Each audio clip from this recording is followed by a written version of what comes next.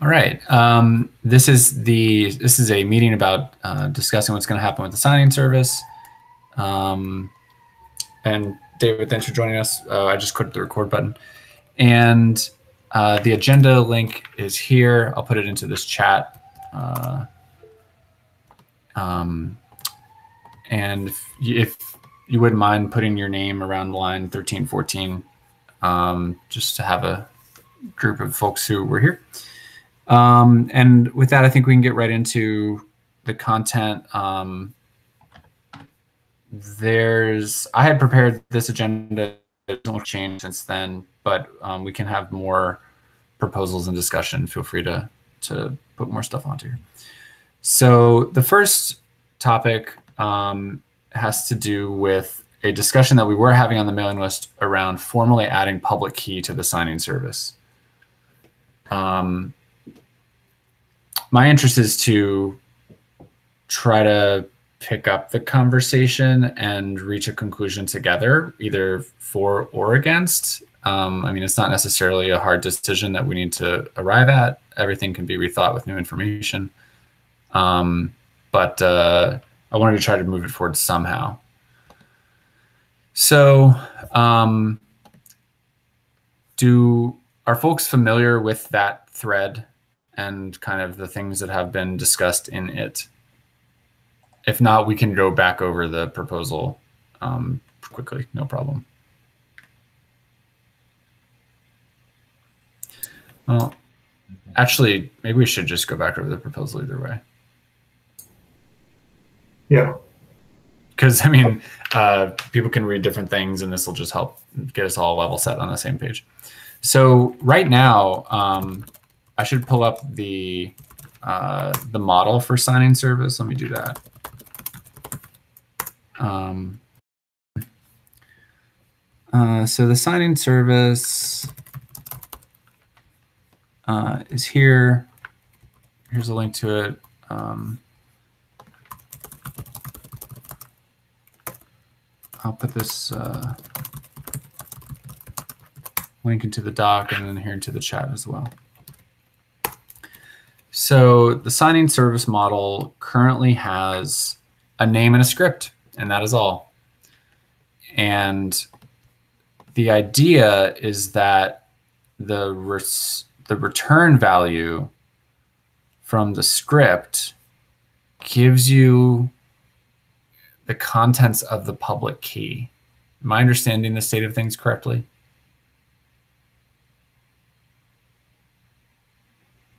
Well, let me just add that I guess it's up to the child class to define exactly what the script must return. Oh, yes, because this is an inherited model. Exactly. So like in the the main one or the, I guess the de facto reference one which is the ASCII armored detached signing service because that's the only one that's in pulp core. Yep. Um, that one has a validate function that ensures that the script does return, I think, amongst other things, a path to the public key file.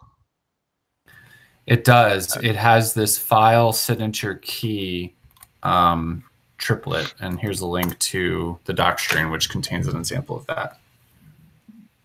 Exactly. Yeah. So, so but yeah, the, but I uh, guess the, the thing I meant to say was, yeah, it's really up to the child class to decide what the interface for the individual signing service implementation is.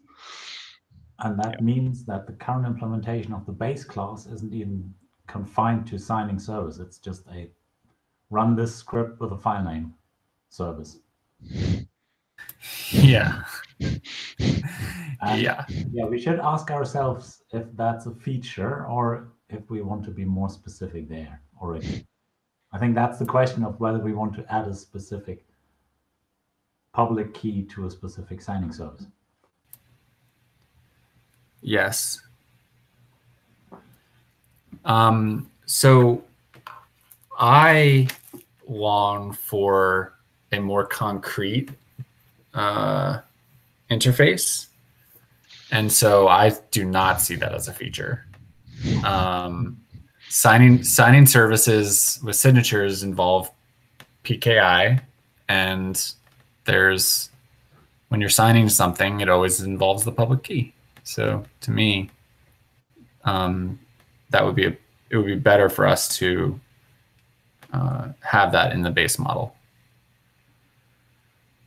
But that would limit us also to a specific PKI. So if we say public key is a GPG key, then that's signing service class can only work with GPG. I had imagined that it would would um, be a a text field. Okay. Not necessarily saying GPG. I can't really imagine other examples. Perhaps I just don't know enough about these things. Well, you could say it's a GPG key ID. Yeah, you could. And I was imagining calling it just public key. There are other implementations. Actually, I'm remembering this now. There are other implementations, um, but they are just that. They're implementations. Um, so they still they they wouldn't be GPG because actually there are other ones, but um, there would still be public keys involved. Um, I, I want to throw out some. other other comments on that, or what are some thoughts on that? What are your thoughts?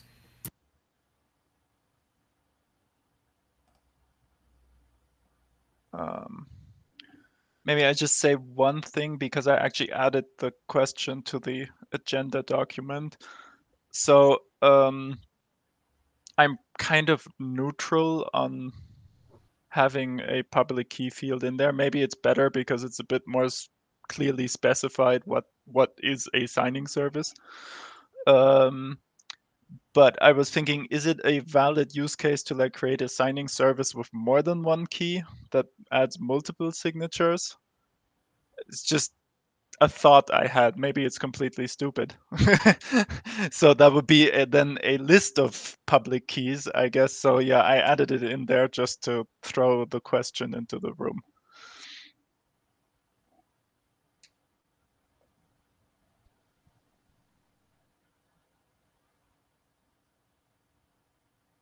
I don't think it's completely stupid at all. I just don't have a good use case for it. I mean, I think multiple public keys implies multiple independent entities. Um, and you're extending trust. Like if you have two public keys, you're extending trust to, to two different entities. Um, you know, if, go ahead. Yeah, I don't know. But then again, is there a use case where people want to sign their metadata with more than one key for some whatever reason? Is it possible to sign with two keys in the same file?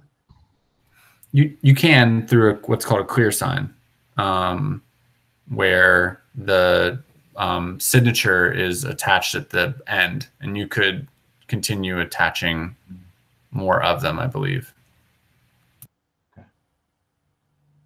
That would be possible by calling the different signing services one after another.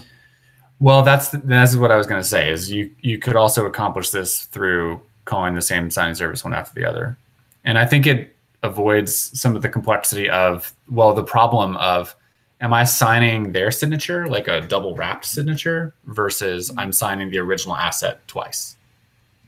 Okay yeah so maybe that i i put it in there but maybe it, it's actually just takes us off track so we should leave it at that and if it ever becomes an issue we'll fix it then. Yeah.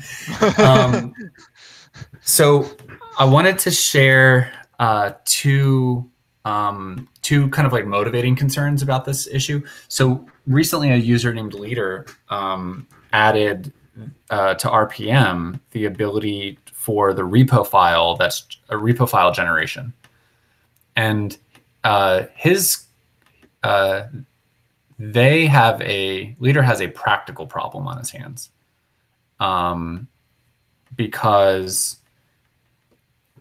until you actually sign something, you don't get the key. Mm-hmm.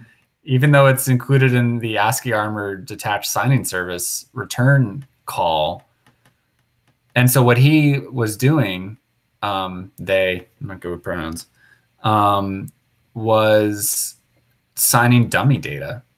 Like that's the workaround. And right now, that's what it does. And so one of the motivating, one of the motivations for this change is a practical one where you might want you you want to know that up front. Um, so that's something to think about. Uh, I want to put another thing out there for us to think about, and then try to see if the, if this um, see what y'all think. So, mm, what I what I keep wondering about is key rotation. Um, and what are the implications when the public key changes? Um, and the uh, the signing service, like for example, the ASCII armored signing service that's created in the database, um, you know, if we add the public key to it, it will have to change. Um, or but replaced, or it needs to be replaced. And so, what I want to do is kind of paint a picture around who are all the entities that are involved in this asset. Um, there's the administrator who configures the script. There's the uh, there's the user of pulp, and that's probably a different person. Um, that user of pulp, I kind of call them the content administrator, just for the purposes of this discussion. And uh, they are involved because they end up having to trigger a republish event at the very least because it's that publish time where the signing tends to occur. And so i'm calling out their role as, as needing to know that something changed and to their action would be to cause a, a republish event typically. And then there's the end client the client themselves. And there are many of them. And so um, if we end up what we have today implicitly allows key changing to occur. And one of the reasons why, why would keys change? One of the reasons keys change is because they expire. Um, keys should have expiration dates. It shouldn't be super duper long, probably on the small number of years. And time passes and they'll need to be changed. Um, and so, uh, will this happen? I think it will. Um, and when it happens, right now, what would happen is the script would end up just getting the other, maybe the script would change. I don't know. But for sure, the return value would change. And uh, implicitly, this is the implicit part, the next publish will just switch to them. At which point, clients will break um, because if no one tells them to rotate their keys to start trusting the new the new um, signing authority then they'll see those new signatures as not cryptographically trusted. And maybe this is a good situation. I mean i mean stuff breaking isn't good but um, the fact that the administrator can make their changes, their their needed changes, and the content administrator can just trigger another publish whenever that happens, and stuff just works. Like that's actually a pretty good situation, I think. Or maybe it's not a good situation, and this is where I really, really look for, for help in this, because maybe it's not a good situation because perhaps um, there sh- perhaps this shouldn't pass silently or implicitly. Um, perhaps it should pass loudly and with multiple parties involved. And so, th- so, so that would be the case for you have this the public key in the signing service. So you have to create a new signing service with a new name or something like that. That would be loud. That would be loud. Yeah. Okay. And then you switch your publisher to use the new one. Or yeah. Your and you have to take an action and and um, right now administrators kind of create the signing services is and then content administrators use them. And so part of the question is not only would we add the public key to the data model, but would we make it immutable? And what's the, what do we want to do with that? That's kind of, um, I think we need to make it immutable if we add the public key. Because for the publication of this RPM, that needs to provide the public key without signing anything new on an old publication. If you change the signing service to the new key, that will break. So that publication must always point to the old signing service. That might be disabled by deleting the script because the key is uh, uh, out of date. Or deleting the signing service. Then you would break the publication as old. Yeah, okay, I see. But so you did mean script. Deactivate the script, and then the signing service would still be able to provide the public key to serve that old publication, but not yep. be able to create a new one. Hmm. And so I think having immutable signing services is a good thing.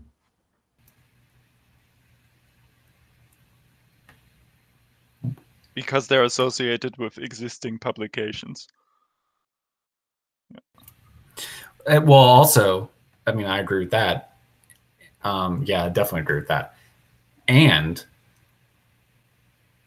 the content administrator has to take an API action.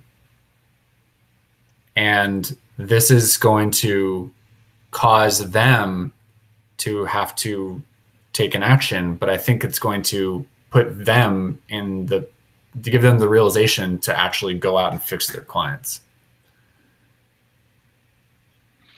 And that's my one main concern. That's my kind of my overarching concern is that no one, if no one's responsible for fixing the clients, there's you can change keys all day and it's not going to matter. But it's not going to be pleasant. It is going to yeah. matter. well, yeah, yeah, yeah, yeah, yeah, yeah. It is going to matter. Um, yeah, it'll. Everyone will break. Um, yeah. So, uh, any other thoughts? I, I agree. So, I mean, are there thoughts in the other direction or things that we haven't considered?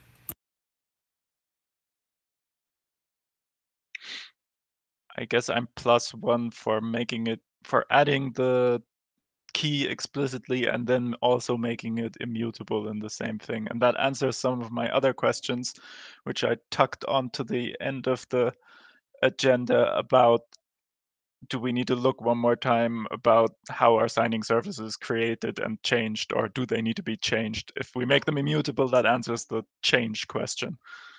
They just don't change ever. they yeah, just right. You just create new ones. yeah. Um, okay, I'm trying to take some notes here. Um, David, feel free to jump in if you have any um, thing that you feel like we really should consider? Um, there's maybe one more thing. Um, at the moment, we hard code the key ID into the scripts. So that makes the scripts very not uh, reusable. When we have the key ID on the signing service object, we could pass it to the script. And that way we could provide scripts from packages that can be used for certain plugins. So you mean the, the example script in the documentation? Or which script exactly are you talking about? Yeah. Yeah, yeah. I think, um, and I've heard this goal before too. Um, and we should write this into here. Um, as can we like make this like a middle term proposal? Um, not that you're necessarily calling it as such, but um, like a full proposal. But um, how to provide um, more usable scripts? That's a question, not a proposal. And if public key field to the signing service, there's no reason to not have the key ID available too. I think. Like in a, uh, you're oh oh you're saying having the key ID in the database in the database as well. Oh, or let's say some key reference that is specific to the PKI that is passed to the script. Yeah. I can see, yeah, I mean, I can see the value in that. How, how does that work today? I mean, is it just happening in the subclass in the ASCII armored one? I think we have the key ID hard coded in the script. There's a, uh, if you follow the link, I added the link to the workflow documentation. I think it has the script in there at the bottom of the uh, agenda document, the last link in it. Yeah, let me pull this up.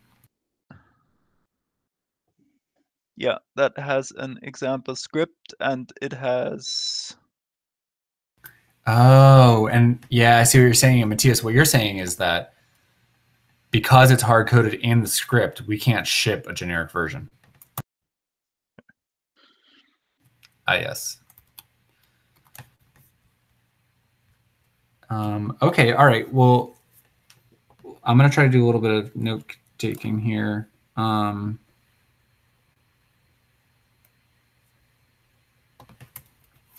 I managed to mess this all up.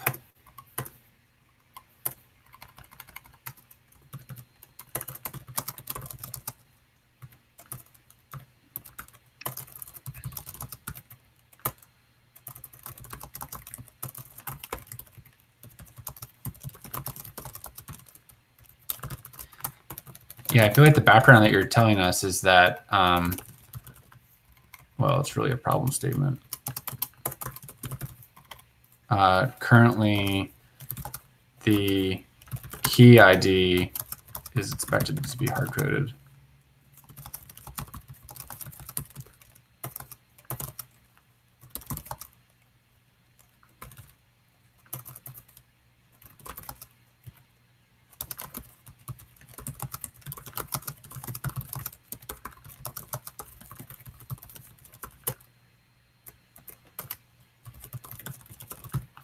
about that for a problem statement? Yeah, I agree.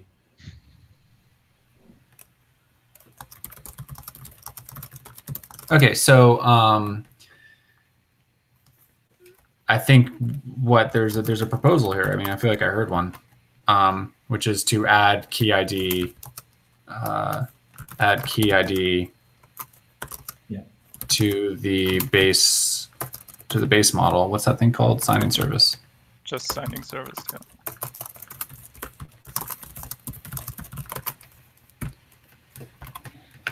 And do you think that would be an optional an optional field? Um, well, if we do, if we make the public key a non-optional field, then there's no reason to have that optional.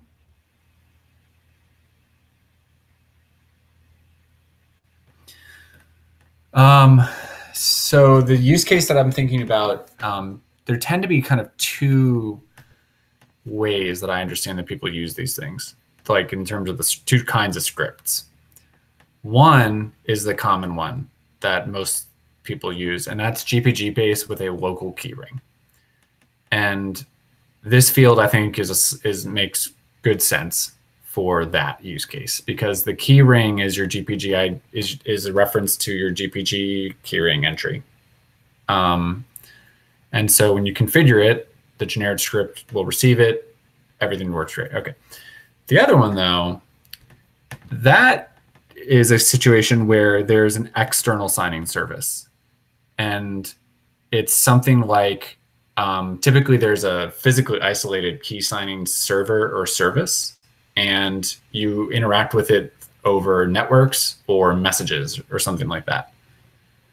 And I send the message as a request for signing, and then it sends me back a response. That's the, the signed thing. Um, it probably wouldn't have a notion of this key ID. Um, if the signing service contains more than one key, I need to choose one. Um. Well, problem, I can still ignore it. Say, tell me that once more. Sorry. And if it doesn't accept uh, such a parameter, the script can still just ignore it. That's right. I agree. But what would the administrator configure it as if it's a required field? That's the uh, part that I'm stumped on. Um, as the same ID of the key that is saved in the other field. Always.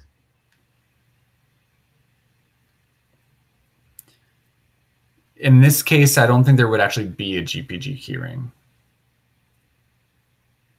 Yeah, but we are talking about the um, public key field and the signing field. And there will always be a public key. So yes, there will be. Verify it. And that public key will always have an ID. And that's the ID to put there. So, okay, so you're saying, yeah, so, may, yeah, okay, I hear what you're saying. So, what I think you're telling me is that every public key has a well has a well-known ID with it. And part of what I was imagining was different than that. Um, I imagined that it was the GPG keyring entry. And so part of my question is, are these one and the same? And maybe what is what um, what did you imagine would actually be like the, an example value of something like that? Uh, I think eight letters of hex. In the cool. Which yeah. Is, which can be used in the same place as you, well, when signing with GPG, you can specify the ID in very different ways, and that is one of them. Yep, I agree. Or you can even, uh, use the whole fingerprint. Yeah, I agree. And that's how you refer to it in your GPG keyring, for example. Yeah. And the key ID is just the last eight letters of the fingerprint. Yep. Um, that sounds okay to me. Um, and if we end up in a situation where it needs to be optional, we can do we can we can fix that later. Mm-hmm. Um, I mean that's a that's a schema alter um, database migration. Like that's not hard. Making a field optional is easier than the other way around. Definitely. So so I'm not too concerned about that. Um, it seems like so then let me ask you this question. Do you think that we would have that derived? Or is that something that the administrator would set? I guess my other, now that I'm over my other concern, my new concern is making it harder for them to set it incorrectly. To, yeah, yeah. I mean, like it's another it's another knife for an administrator to cut themselves with. At some point, this would be in the uh, subclasses that deal with GPG, obviously. Um, oh, not the base model. Yeah. The well, subclass the verify function would have to verify. But the derived models must fill the field. And the derived model that deals with um, GPG keys will get the GPG key for the other field, and that can derive the key ID from there. So are you proposing that we add it to the base model or no? The field, yes. The, the, the way the implementation for setting it no yeah okay okay um which is basically what we even in the two very simple fields we have right now that's what we're doing right there's a field there for a script and it's the child class that actually checks whether this is anything like a script. Yeah. So you're saying at, at validation time, um, which is um, when you create yeah. the signing service. Definitely, I yeah. agree. And the validation so, should check the key, that check that the signature matches the key and that the key is the has the right ID. Okay, cool. All right, that sounds good. I think I was getting confused with the word derive because to me that, that I was thinking that the code would actually be computing it, but what but what but I think what I'm hearing is that it's actually a validation that will happen. And that sounds good. Well, at some point you have the key and you can call out to GPG to give you the ID for it. See, that's more than a validation then at that point. That's actually which So sounds It could be done at save. yeah, yeah. Um. Okay, all this sounds, all this seems valuable to me, and I can I understand why we would want to do it, and it seems and I'm comfortable with all this. Can you just wrap up, like just summarize what the actual proposed change would be?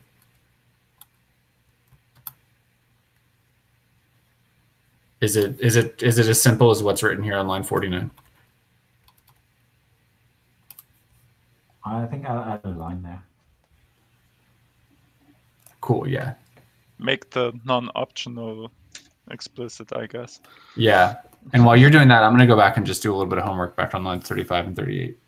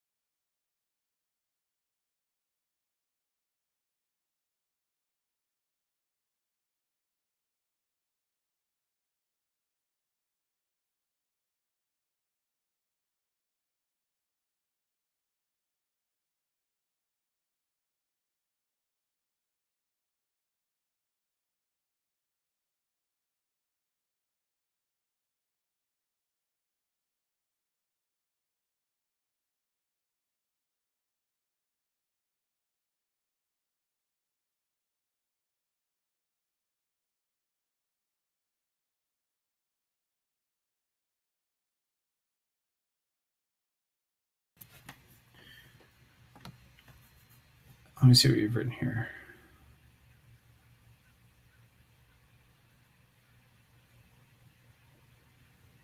Okay. Yeah, that sounds good.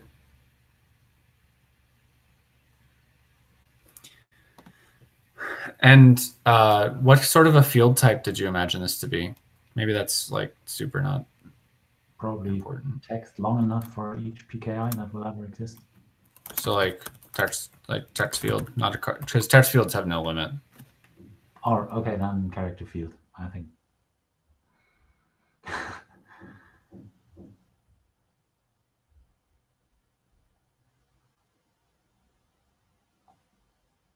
How about that? Yeah. Okay. I won't ask you about the length. Um, so, uh, cool. This sounds good to me. I think overall, what's going to happen, or I guess as a next step that I'll propose, and we're going to go to the third section here in a minute, but um, that we should post these notes publicly and just ask for comment and concerns and then give it some time to make sure people have enough time to really think it over and let us know how they feel. I'm really interested to see what Misha says. I should Um, check that we pass this to the script. Yes, please do. Yeah, great. Yeah, I really want to hear what Misha has to say about all this because uh, the implicit nature of the current design was heavily built by by his beliefs and his implementation, and so I want to make sure that we are hearing from him to understand. I mean, like, is even if he does the best way to make it, if this is still thanks for joining us, David. If this is still um, even acceptable, because like they in practice they use key signing a lot, so like I need to make sure that this is is still going to work, even if it's not ideal. Um, okay, so um,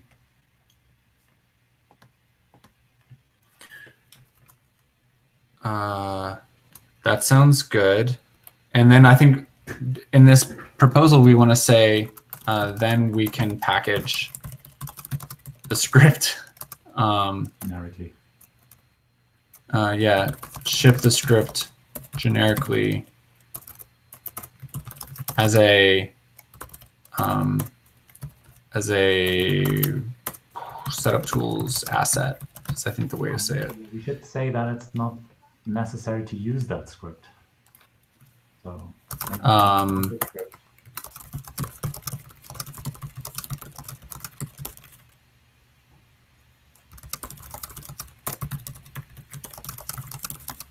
how's that look?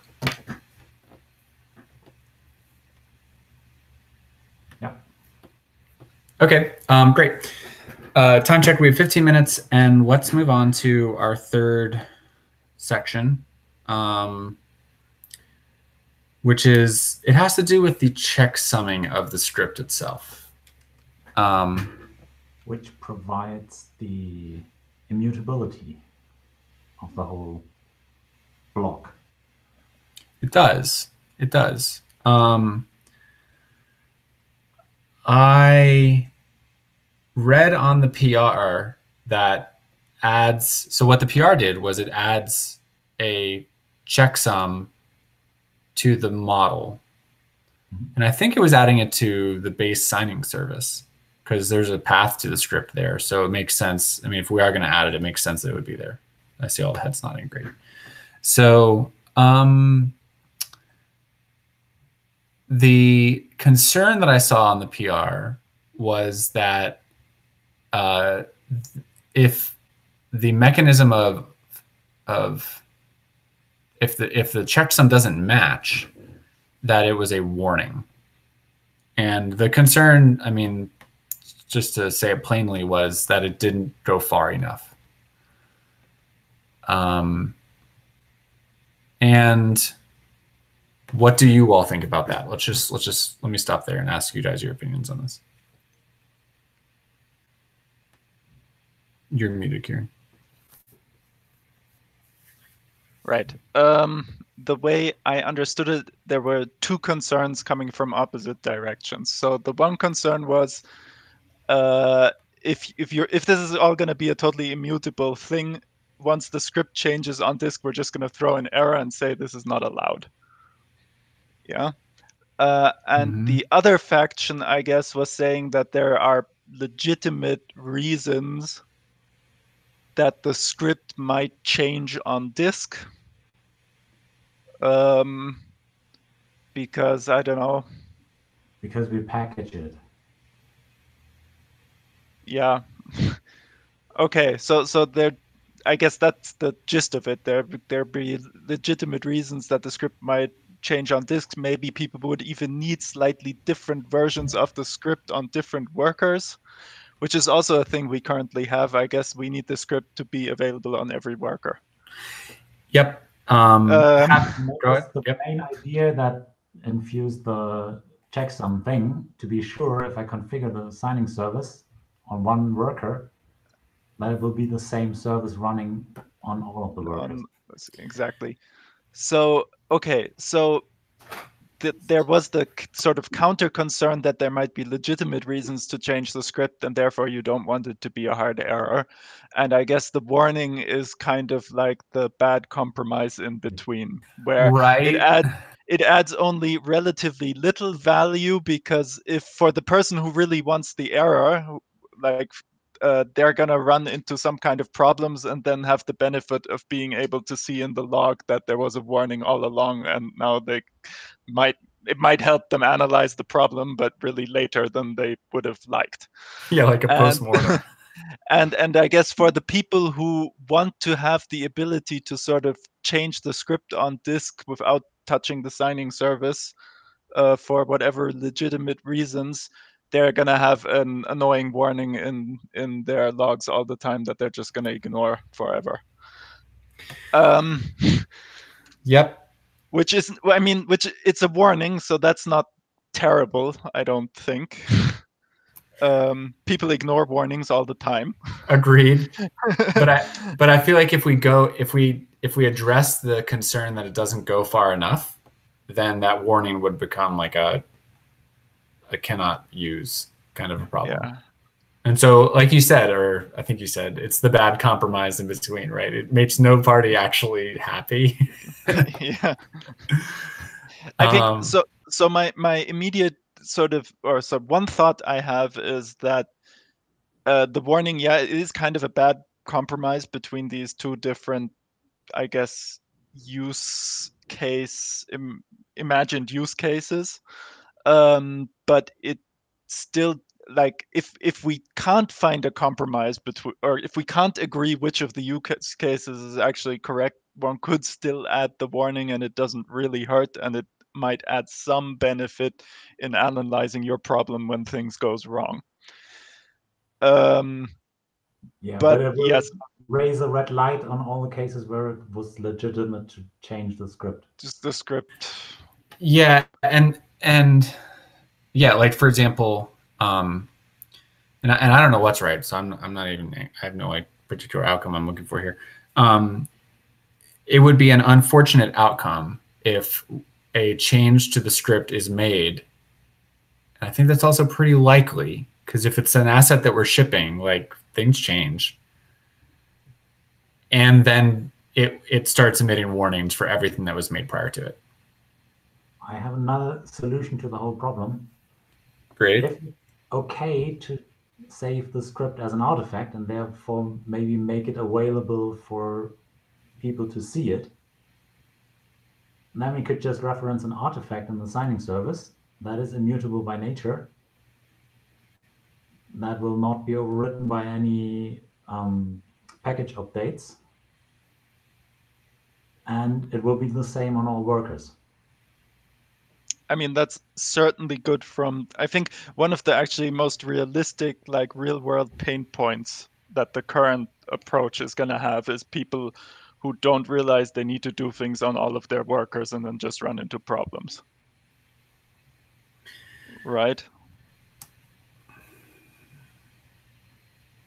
I could I can certainly imagine uh, the system administrator from the parties you've described like trying to change this script and forgetting that he needs to do so on all workers and then you get some inconsistent weird difficult to diagnose effects happening Yeah, I agree with you. And and actually let me bring another concern to the table. I'm just realizing this now. See, in my brain, I always think I have this assumption that oh, Varlib pulp, that's the shared place. Just put it in there, no problem. Um, but actually that's not even true anymore. Um, pulp has a set of users for pulp 3 that uh, cannot have shared storage. They literally can't and uh, so how does so how does pulp even work well pulp they use um, their artifact artifact storage is backed by s3 or azure and they only use whatever is varlib pulp for their temporary storage it's just a temporary place for like sync data to be stored in and then it's written to s3 and the the artifact containing the script must be downloaded to the local storage and then called. yeah i agree So I see uh, the only downside I see is that it's an artifact and people can start seeing and using it in different contexts. Which should be okay for all the generic ones, but not okay if you're using if you're having any access parts to your local signing service or not. Well, yeah, I mean, I definitely think there's a sensitivity around that asset. Um, it uh, it shouldn't be, but it is a sensitive thing. Um, you can always call another script from that script and then you completely circumvent the I cannot change it. I was also thinking about that. yeah and then i don't know with with sensitivity and things like is it is anything we're gonna do really worse than it's lying around on disk anyway Yeah, being an artifact, it can be served by the okay yeah content app. Yeah, and that's my concern as well. although we could put it in another place. I mean, we really could. We could just have another part of our file system that stores it, and we could make sure that it's backed by a, a um, Django storage's compatible like data store. Yeah, or yeah, something. I mean, something like that. Um, so let me just round up the concerns. The concerns are that, um, or maybe my concern is that what we currently have is not going to work for a segment of our pulp users because they don't have shared storage. Um, and if they do have shared storage, they might not be putting it, there, or or in all cases, we're not we're concerned that the same script isn't going to be in all the right places. We should write. I think down. that's a that's certainly an operational concern. Yeah, I think that's a very realistic.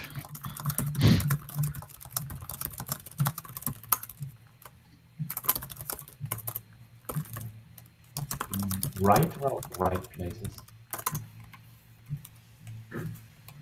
Um, the other right. Did I mention English is my first language? Um, so let's see. Uh, when users don't have shared storage, um, putting the script uh, on all workers is practically difficult. Um, what are the other concerns? I mean, uh, what? Well, let's go back to the original concern that started this PR to start with. Someone was worried about was it tampering? I, no, it wasn't. The I think the original concern was mainly uh, you deploy it to some of your workers, but not others, and then you have an inconsistent system state where weird effects happen. Okay, so that's that's kind of this first concern on line sixty six. So so yeah, so and like the the the the checksum solution, well, that at least gives you a warning or error when when that happens. Okay. Because if, if any if any of your scripts don't have the right thing, you'll get the warning or the error, whatever, whatever, whichever it is. yeah. Um.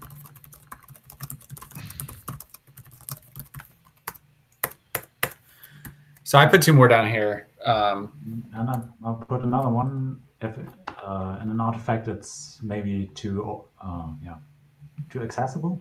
Not the right word. Yeah. So yeah, one solution would be to place it in an artifact, but then maybe that's too accessible. That's I guess the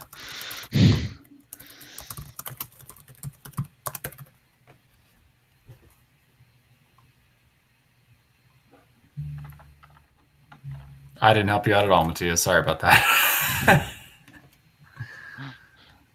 it might.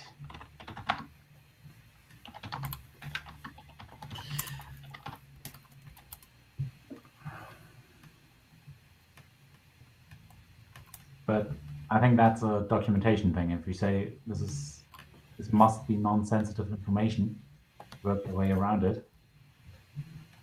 Yes, and I mean, as the system administrator who has some sensitive information in there somewhere, you you have every option to like call another script from the script or. Yeah. Yeah. yeah. You need to deploy it to all your workers manually anyway. Yeah. Or by another method, let's say. So I so I guess I could say that my personal favorite is almost the artifact solution, but I don't know if that works for everyone. it solves a lot of problems. And then yeah. and and then you just need to make clear to people that this script is not meant to contain secrets. Yeah. Yeah. And if you ship the version as an example, you can always well I imagine if you save it, you provided a file and the file gets turned into an artifact.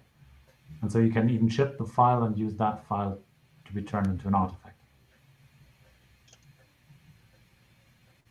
Yeah, sure. Yeah. The I think that the concern that I keep thinking about, which isn't written down here, but um, but it, it really falls it, it falls under um, concern number two, uh, that users without shared storage will have a practical terrible time. Um, and the the issue is that it's not only about the script. The script ultimately is a shim.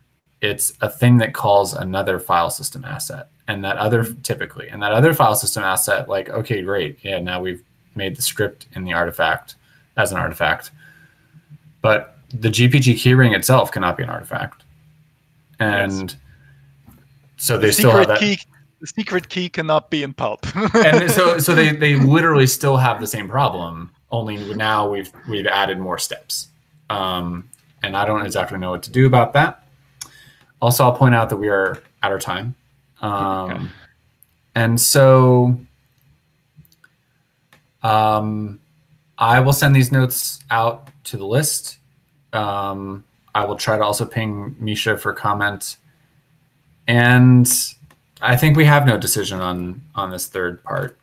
Um, and maybe we'll discuss it some more on the thread, or maybe we'll reconvene another meeting in two weeks. Um, should we add the, the third question with um, this, with any of those solutions is depending on whether we make it immutable. If we don't make it immutable, then there's no uh, way of, yeah. Then, then there's no use for the checksum. Yeah, I think that we are I mean, yeah. I mean, feel free to write it. I'm not sure how to make that clear. I'm not sure how to make that clear in the document. Well, you could you could have a mutable script with a well-defined way for uh, a mutable signing service. Sorry, with a well-defined way for updating it and then recalculate the checksum whenever you do. And then still have the checksum to provide a warning in like right. where with against right. accidental changes. Well, yeah, and, and yeah. yeah. the changing of the script underneath. I think that's really exactly. the the thing. Yeah. So um, what you're saying is if you change the script underneath, you need to revalidate and save the signing service. Yeah. Yeah. Yeah. Okay. Um, I will not add that note. All right. Well, uh, thank you both for your time so much, um, and David for joining earlier. And um, I'm gonna post this onto our YouTube channel. I'm not sure who will watch it, but um, are you both comfortable with that? Okay. okay. Um, I'll send these uh, notes out and we'll discuss it some on the mailing list. And we probably will come and talk again here in, in another two weeks. And now, just as for a smaller, easier discussion, let's try to take the things that we did um, propose and think are good ideas, and let's try to put those into action with comment. So I'll take the next step. Thank you both for your time. Great to see you. Thank you. See you.